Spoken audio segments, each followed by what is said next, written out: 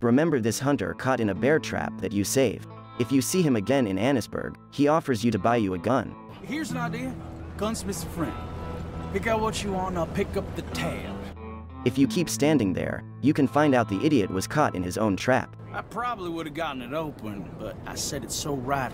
Really got me. Uh, you taking credit for the quality of the trap? I'm just saying that if it were a bear that got trapped in it, it would have been trapped real good. Yeah, but you trapped your own damn self instead, didn't you? You know, I sure hope it don't happen to you someday. Fair enough.